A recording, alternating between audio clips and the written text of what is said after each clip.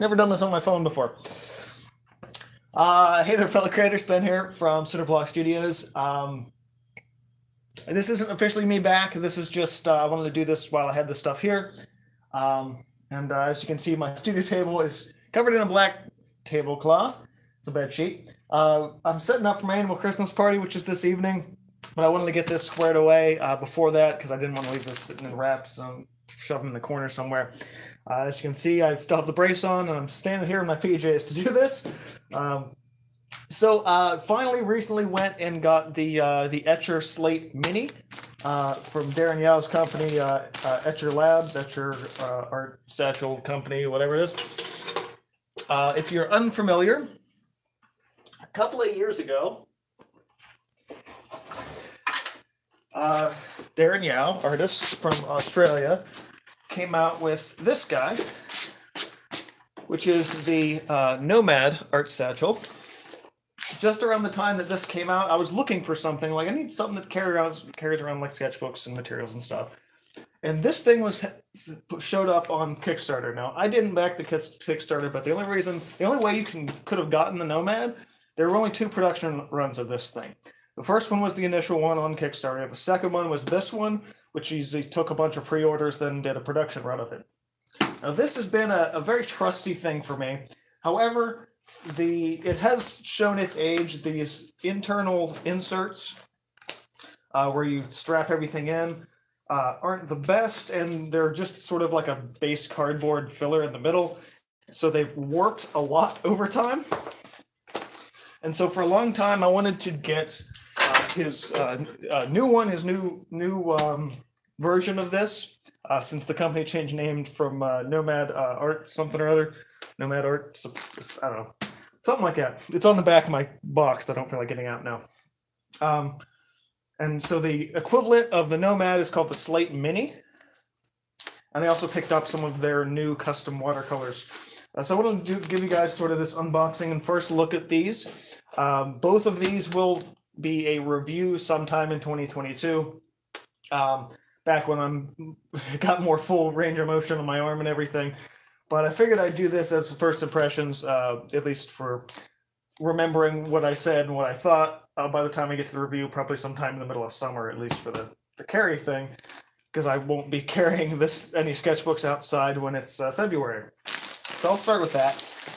Um, this is how it came. It was in a, uh, just a shipping envelope, which is the bottom of my trash can now. Both of these were together and wrapped in bubble wrap and taped together, which is nice. Um, might need scissors, I'm not sure. This is really. That's not bad. So I'm really excited for this. When I do the review, I'm actually going to do a side-by-side comparison. Um, even though I know a lot of people probably didn't buy the original Nomad, since it only had two production runs but uh, I will I will do those I will do that as a as a comparison. Oh wow, yeah, gray this time, rather than that funny black material. Glad to see it still has the the, uh, the tripod mount. I, I knew it did, but uh, wow, this is like start to finish. This is overall presentation is so much better. To be fair, the guys probably learned something in the six or seven years, uh, seven years, I think, since the first one launched. There we go. Okay. So, uh, I really like the, design of this little guy sitting on top, little tag or whatever. That'll probably cut off. Eh, eh. So, let's start with this thing. I like the little quick guide. Etchr Slate Mini quick guide. It says somebody using it. Crafted for the artist, carry for creatives. Built to carry your art gear wherever you may roam, the Etchr Slate range is an expandable, weatherproof system designed to adapt uh, to your creative needs. I'm pretty sure that's on the website anyway. Shows all the, I guess, stuff that goes in it or stuff you might carry in it yeah, all all the, all these images are on the website as part of their thing, but it's really nice to see this just as a tag thing. Tripod mode, dude. Tripod not included. No kidding. guess you have. I guess you have to put it put it there for dumb people though. Modular. So th- that was the thing with the original is it was just like big big sheet of thing. This is I think a little bit more customizable, which is nice. Mud, rain, snow won't stop the art making.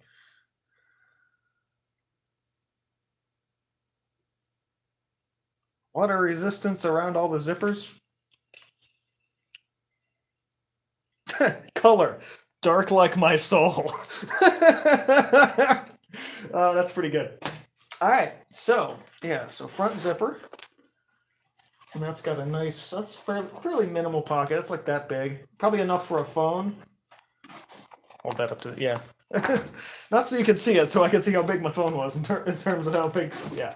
That'll probably actually fit something closer to a um, a Samsung Galaxy Tab or uh, uh, that phablet thing that they have. Not the Galaxy Tab. The I don't even know if they still make those. I think a friend of mine's got one. Uh, logo's a uh, sort of looks like it's almost carved out of this leathery material on the front. Not leather, foamy, foamy, plastic, leathery textured. Really feels very nice. It's not as in your face as the Nomad logo was. I, mean, I really want to do this, but I don't have the strength in this arm right now. So this is actually a lot harder for me to pull these.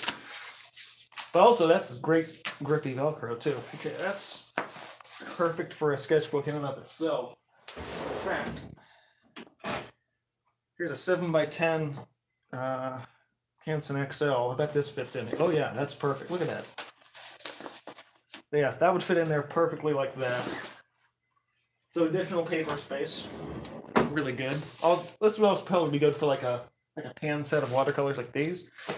um, so that um, water brushes, things like that, that that are flat that can go into there. Okay, what do we got? Yeah, there's that. And the straps. Oh, this one doesn't come with a strap out of the gate. Interesting. But I bet. Seems I would have had to buy the strap separately. That's how they get you. Uh, but I have a strap for the old one, so I bet I can just use the strap for the old one. I'm sure the uh, design won't be quite the same, but should fit, and I can I can just attach it up on these hooks. So I will do that. Interestingly, not to do more side by side comparison stuff, but the old hooks were metal rings. These are plastic. I don't know if that's going to make a huge difference. But it is worth noting since I noticed that immediately. Yeah, do, do have the nice handle there. I feel like even without the, the strap, this is just a nice carrying bag. There's also a back strap. This is or a back pocket. This is probably just to get the yeah. That's just to get the, the plate in and out. Okay, inside. Ooh, hello. Nice tight zips. Ooh, ooh. Okay, internal strap. Good. Oh no, the strap is in there. Hey, check it out. The strap is in there. All right. Ooh, ooh. Hang on. Okay, inside one side. So similar to the old one, and you have those little grooves for pencils and pens, but they're a lot more uh, limited. There's so there's a um, they're spacers. They're they're they're stitched in at certain points. Some are smaller down in towards the bottom. Some are bigger up towards the top. And everything is this extra special extra it's like a really this is a high this is high quality like new age velcro-y stuff so yeah you can really um so four corners of a, for a sketchbook or a tablet and that and you can move them around a lot better. This the whole inner structure of this i think is a little bit thicker. Uh, it feels more like a, a denser particle board rather than the uh, other stuff. Um, yeah. Maybe there is a strap on. It was just packed inside because it's compact. As, oh, there's only oh, okay. There's only one zipper on this one. The old one had, had I think two on all of the other things. Okay, so a couple more strappies with this thing. Yeah, there's a strap. Good. which feels a little bit more, a little bit more better than the last one. Well, heck, we're gonna put the strap on so I can actually hold this thing.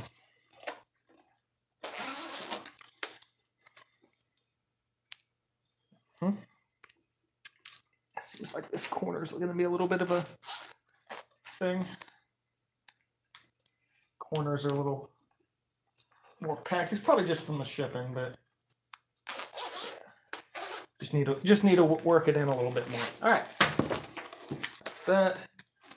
This zips back up. Yeah, this feels like quality on this feels just miles ahead of where the Nomad was for that Gen 1. All right, strap. Off. Good. Didn't have to buy the strap separately. I was worried for a minute there that he was gonna pull a pull an Apple thing. Actually, come to think of it, is is it just maybe it's an adjustment thing, but it feels a lot smaller.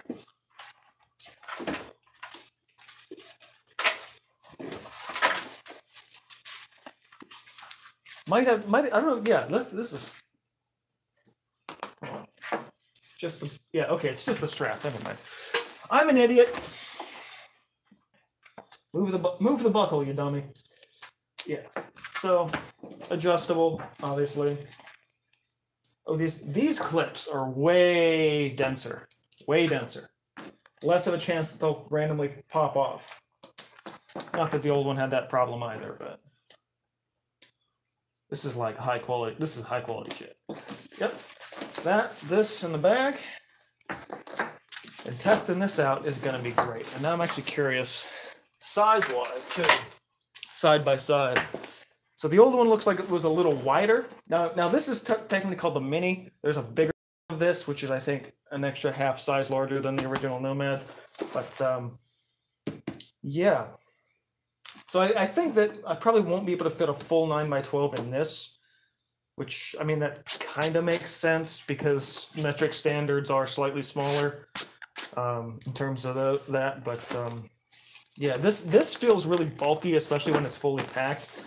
Uh, this is already just thinner, lighter by at least a pound, and it feels really nice. So I will have to ex- uh, test this more extensively. So I probably you probably won't see a review of this until at least probably May or June at the earliest. But uh, that is coming up next year.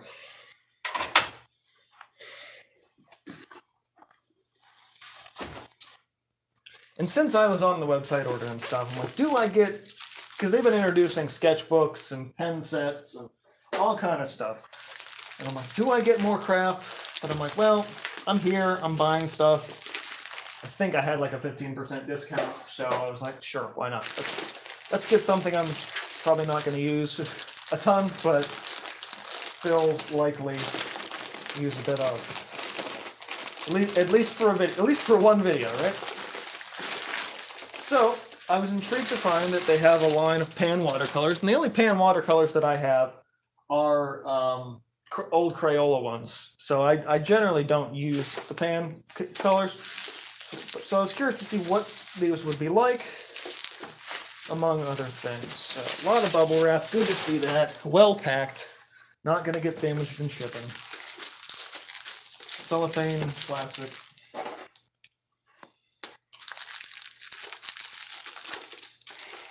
What really sucks about having this brace. I want to just be able to like like opening a bag of chips is damn near impossible for me right now because I can't get the grip on it to do that, and and the and the twist and the pull because I can't. I just don't have that strength. I mean, I have more now than I had a couple weeks ago, but still not great. Once again, top quality design. I mean, artists designing art products for artists, so makes sense. Um, funny the funny llama on that. Uh, you got? I have to tilt that a little. Eh, there you go. There it is. Um, is this just a pull-out box? I think it is. Maybe. Why open this? Yeah, I think it's just in there. Maybe. Wait, hold on. Oh, hold on. Let's look at the back first. shows you the colors, conforms to uh, ASTM standards. Good. It's supposed to. So it's a 24 half pan set. It says premium student series, so they're probably not super high quality, but they are doable and pretty good on the go. Interesting to see a lot of these colors have uh, some different names compared to regular paint colors. So uh, pure white, uh, lemon yellow, just yellow, mighty ochre, llama orange, soft orange, simply red, rouge red, sweet red, pretty pink, royal purple, lime green, leaf green, emerald green, ocean turquoise, ultramarine, and Prussian blues. Those are regular colors. Sky blue, cobalt blue, that's a nice regular color. Umber brown, okay. Brick brown, burnt sienna, that's a nice regular color name. Dark brown and power black. Reminds me of, uh, okay, how the hell do I even open this? Is it, oh, oh, it opens up, okay, okay, gotcha. Might have been nice to put that on the box. So, pops out. Is that magnetic? Oh, shit, that's magnetic. Oh, that's so satisfying. Okay, magnetic pop up and over. Might yeah. If Darren and your team is watching, put put a little instruction, just like open here or something, like like pull open, would really help. So I wasn't fiddling with it for that long. Okay, we believe art has the power to make this world a better place. I agree. Also, there's a thing up there. Show us your art tag with Etchr Paints on social media for a chance to win a monthly Etchr art voucher. Fun. Um, so I want to help artists with your help. We can deliver thousands of bags, sketchbooks, palettes, and other peculiar inventions to artists all over the world. Thank you for joining us on this adventure. Joining us on this adventure. We hope you'll enjoy these watercolors. Uh, Anya and the Etchr art team, or the Etchr team. So this is some this is some high quality shit. Inside we've got a oh damn. Oh, that's a microfiber cloth too. Holy crap. This is this is some next level care taken on this stuff. Okay, that pulls out. Got little thing for that. Light fast rating. Excellent to pour to pour on a one through eight blue wool scare scale. And it shows the transparency what what they kind of uh, are, are using for their things. And that is that is just beautiful. I actually want to try and preserve a lot of this because I'm oh shit. um, I probably want to show some of this in the video when I get to the video, or at least try and get some B-roll later uh, before I actually test it. Okay, so that is a little Etchr sticker on the corner. This is actually interesting. It's got a hook. I'm not entirely sure why or what I'm supposed to use that for but it's quite classy. So that opens up some nice wells in the back. Oh, that's hinged. Very nice.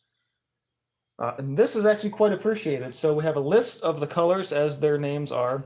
Their light fast rating tells you whether it's semi-transparent, opaque, or otherwise. And it does actually give you the pigment information, which is quite useful.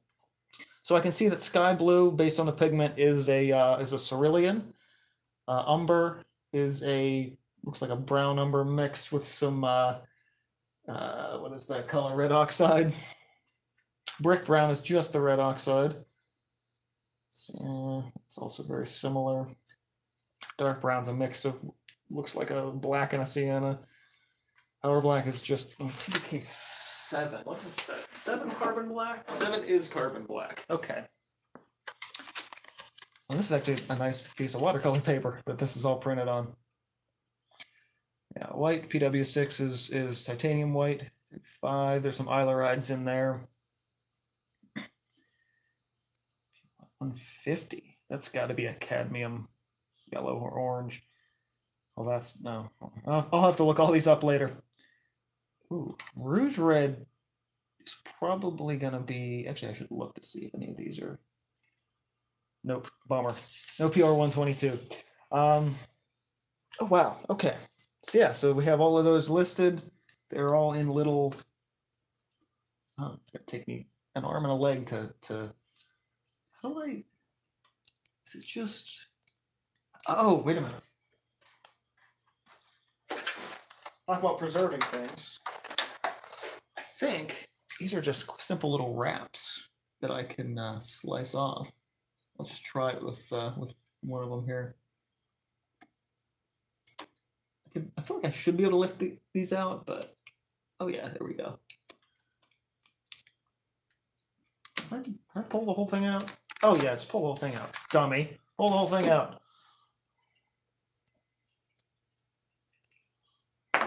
Yeah. So once the whole thing's out, oh yeah, this is okay. They bend. They bend out a little, and then you can get the little the little pan out. So they would be refillable. Good. And all that, and then it kind of works back in. So yeah, we'll unwrap one of these. Lists opacity, uh, light fastness, and pigment right on the little doodad. Well designed little labels. And then once that lifts off, you've got the little pan in there and the cake filled up nicely and such. These are gonna be these are gonna be great. Actually, really looking forward to using these probably as soon as possible. Um, yeah, and all the all the ridges, all that makes for really good color mixing and wells and everything like that. Okay, that's really nice. So I'm gonna put this back so I can get some I can get some B-roll for the review when I actually start working on this. But yeah, that's what I picked up. Uh, this is this was uh, part of my little Christmas presents for myself uh, this year. Um, I always do. I always get myself something. Uh, this was this was part of it. Um, so I was happy I'm able to kind of share that my little unboxing first impressions of these guys with you.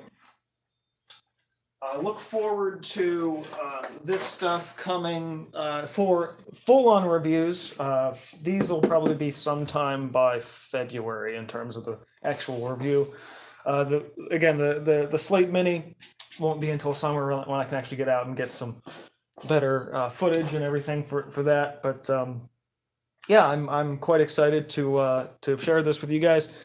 Um, thanks so much for checking this out. Uh, this is just a quick little video to get you guys inspired uh, and uh, perhaps interested in some new art products. So uh, be sure to check these guys out at etchrlab.com. I was to say, what is it? Oh, yeah, it's right there. um, thanks guys for watching. Keep on creating. And uh, one more video this year will be the bloopers just sometime before the end of the year. I will get to it as soon as i can. Uh, thanks guys for watching. Keep on creating and i will see you guys next time